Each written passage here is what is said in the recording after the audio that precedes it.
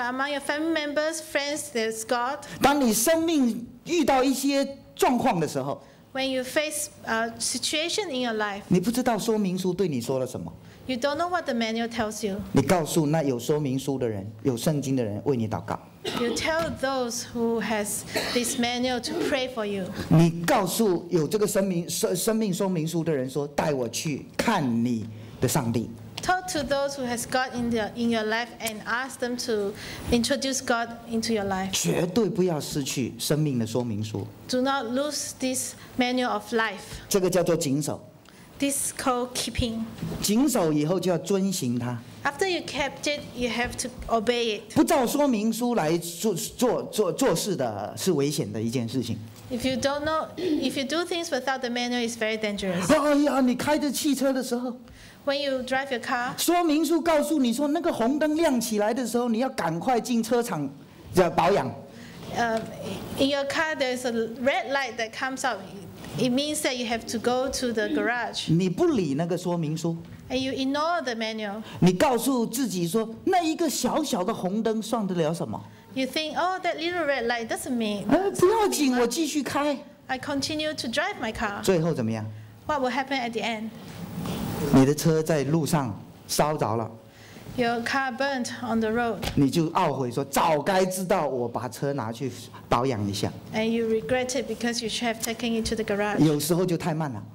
Sometimes it's too late. 按照生命说明书，你的生命就会顺利。 If you live according to the book of uh, life of uh, this, the Bible, then your life will be smooth. 我要结束今天的分享。 I'd like to conclude. 首先，这一句话，问题常常不是问题的本身，而是本身的问题。 Often the issue is not with the problem itself, but the issue of individuals. 问题不是问题的本身。 Often the issue with not, is not with the problem itself. 什么叫做问题的本身？ What is the problem? 比方说，你开车去旅行， For example, you drive your car to travel 还开不到五公里 um, less than five kilometers down the road, 就爆胎了。 the tire burst. 这个爆胎是问题的本身。 So that the problem of tire is the problem itself. 常常问题不是问题的本身。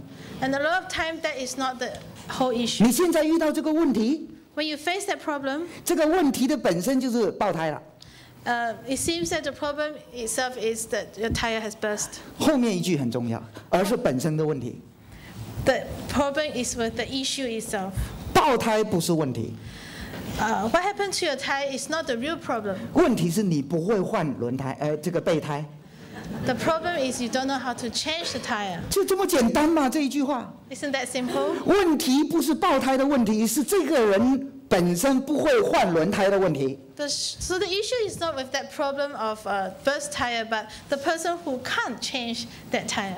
问题不是你遇到的困难很大，So the problem is not with how big the issue that you're facing is, 是因为你的信心、你的态度、你的行动全部都错误，but it's because your belief, your attitude, and your actions are all wrong. 所以一点点小事 So every little things that happen, 你就不快乐，you're not happy. 一点点小事 Every little thing that happen, 你就睡不着， you can't sleep. 一点点小事 Every little things that happen, 你的脾气就大， your temper flare up. 一点点小事 A little, little small thing, 你就怪别人、怪上帝、怪周围的人。 you blame others, you blame God. 问题不是问题的本身， The issue is, is not with the problem itself. 是本身的问题， Uh, The problem is with the, 是因为我对上帝没有信心， it's because we do not have faith in 是 God. 因为我态度错误， Because I have the wrong attitude. 是因为我本身不懂得怎么行动， It's because I do not know how to act. 所以我卡死了，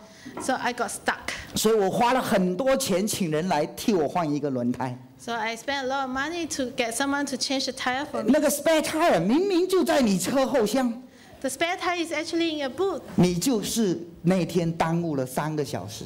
but you wasted three hours.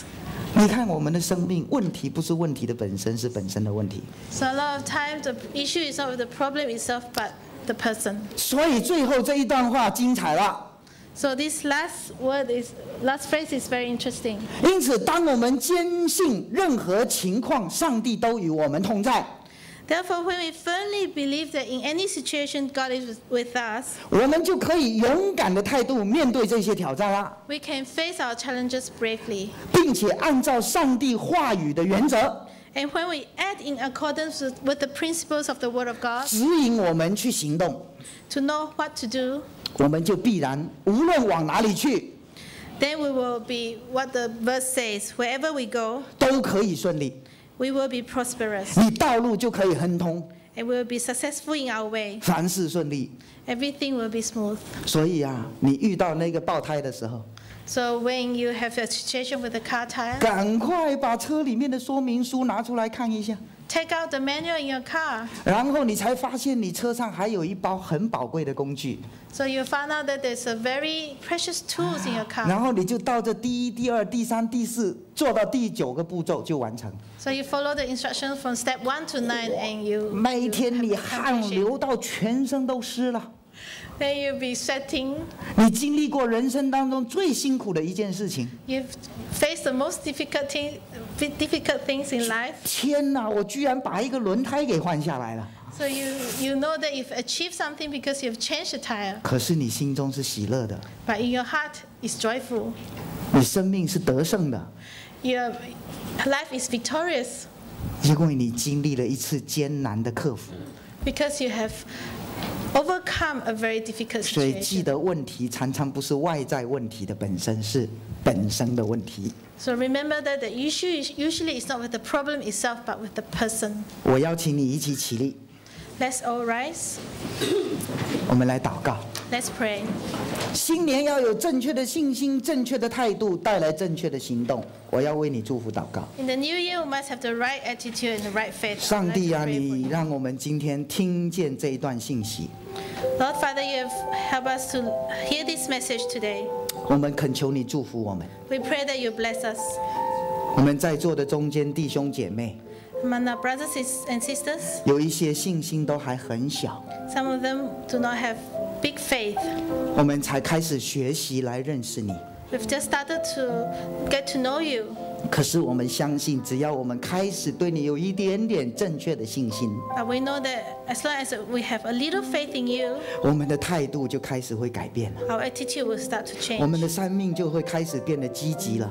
Our life will become more positive. 因为在我们所不能，在上帝却能。 Because we know that on our own we can't make it, but with you we can do 我 everything. 们把我们生命中间具挑战的目标带到你面前来， We bring out to you our, the challenge that we face in our 我 life. 们恳求你加力量给我们， We pray that you give us strength. 加智慧给我们， We pray that you give us wisdom. 我们靠着你去面对， And we will face our challenges with you. With我们不惧怕， we will not be 我们 afraid. 不退缩， We will not move backward. 我们就仰望你， We want to look up to you. 我们去用具体的行动来面对生命的考验。 We want to face life's challenges with the right action. 我们对问题说，问题不是问题的本身， Look, we learn to look at problems and say the problem is not with the problem itself, 乃是我要得胜这个问题。 but I have to overcome this 感谢上 challenge. 帝，你祝福我们， Lord, we thank you for blessing us 让我们凡事亨通，事事顺利，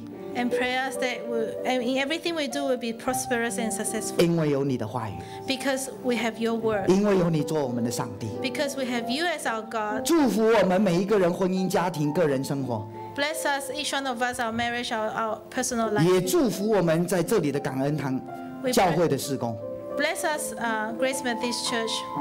我们在这个地方，在未来要为主上帝建更大的教会，In this place, we're going to build your kingdom 因为这个地方要成为许许多多人生命的祝福。because this place will be a blessing to others. 今天来这里的人已经得上帝的祝福，Those who are here today, we have received God's blessing. 还没有来的，将来也要来到这里得上帝的祝福。Those who are not here, those who will be coming, they will be receiving these blessings as well. 感谢上帝， Lord, we thank you. 奉靠耶稣基督圣名， Pray in Jesus' name. 阿门。请坐。 Please be seated.